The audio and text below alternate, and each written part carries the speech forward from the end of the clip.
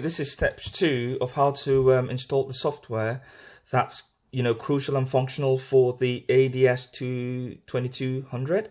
Um, in the earlier video, I talked about how to install the um, the USB to your scanner and then also the capability of the of the USB cable. So if you have missed that video and you want to see it, you can click click on the link below, and it will take you to that video. So, um, if you haven't already, please kindly subscribe. Um, it's absolutely free. You don't need to pay for it.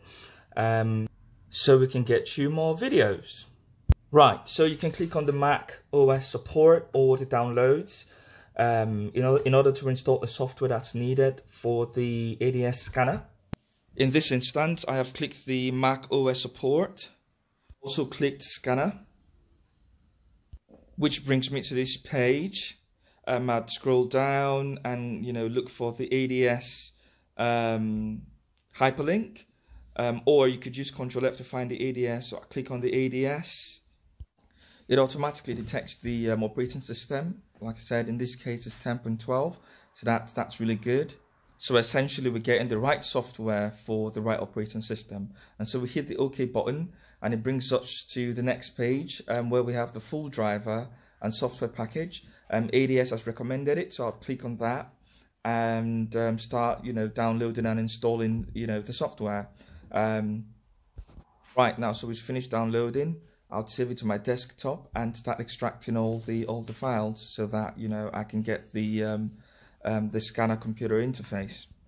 Right, so from here onwards, I'd have to click on the um, installation um, ADS installation file. So I'll click on that right now, and that um, launches the installer. So I click on the the start button and open, and select my um, printer, which is the ADS 22000 and just work through the remainder of the installation process. It's pretty much straightforward you know um, i think at some point you need to put in a password but you know but that should be absolutely fine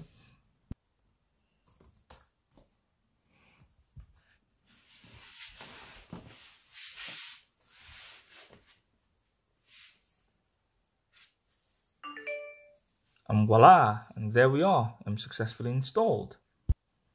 Click ok um, you know and try as much as possible to um, work through the setup just to apply settings you know apply the settings in the in the setup and just to make sure that you know there's the right connection between um, the scanner and the um, computer. So I'll click connect um, okay and apply apply settings and you know um, my, my computer um, would have recognized um, the scanner but more importantly, um, I'd need to go back to the um, brother support, which you know essentially has the the user interface embedded in it. So I'll be clicking on the executable file to to extract the the interface.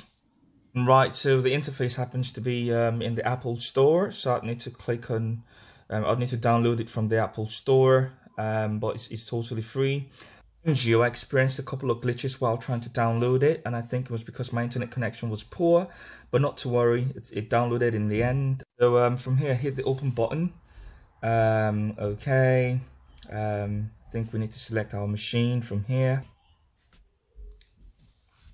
Select the machine, click OK.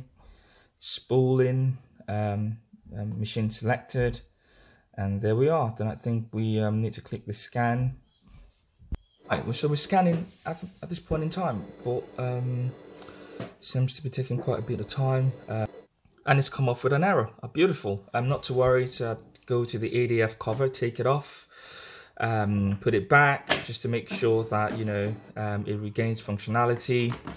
Put in the um, the server tray, or where the you know your bits of A4 papers and you know where they sit and flick it back in. Um, yeah, but this is quite interesting though. So for the first attempt, it didn't work. Um, you know, um, it makes me think. Um, right, so I've spotted the um, the missing link, and I think it's the way in which the um, server tray sits. So I'll tilt it a little bit. Just look at how I'm moving my hands a little bit. Yep, just right there.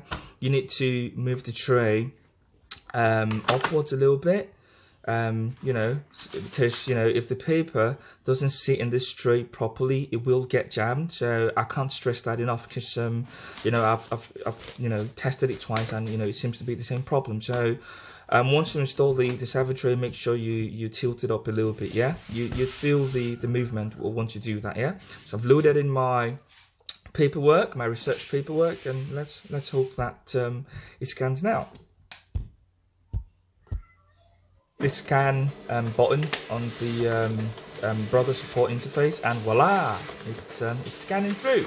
So I've got a mixture of um, blank paperwork and research paperwork um, because the capacity of the of the ADS 20, 2200 is about 50 pages but i will try not to push the this scanner to its to its maximum capability so I put about 33 odd pages.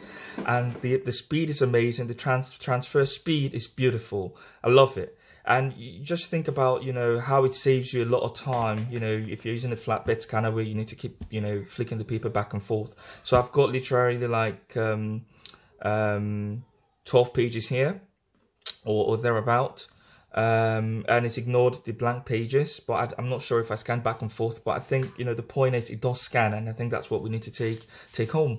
Save it I'll save it to me um, PC um, as a PDF file um, yeah and save it to my desktop so I can you know easily see it. I don't want to save it to my documents folder. It depends really. You can save it anywhere really. And you can you can name your file whatever you want to name it. I'd name mine um, the test because I'm actually testing the printer to see if it works and it costs quite a bit of a fortune. And um, if it didn't work I'd have to return it but I'm not looking forward to returning it because um, I like you know how portable the the printer is. Although it feels delicate but you know it, it does the job and it's got an amazing speed. So I think I'll be keeping the scanner um, yeah. And so that you know it's not a printer it's a scanner it's a scanner only okay Yep, and so it's currently spooling and, and saving to my desk um, top, and that's absolutely fine for me. It's what I wanted. Um, right, so that's about it really. Um, don't forget to um, hit on the um, subscribe button. Um, I'd really appreciate it. And um, yeah, it's absolutely free, like I keep saying. Um, you take care and hopefully catch you up on the, third video where I would actually be showing you the the the actual hardware um, for the scanner. And you know you, you can get onto that video by clicking the the link below um, beneath this video. All right take care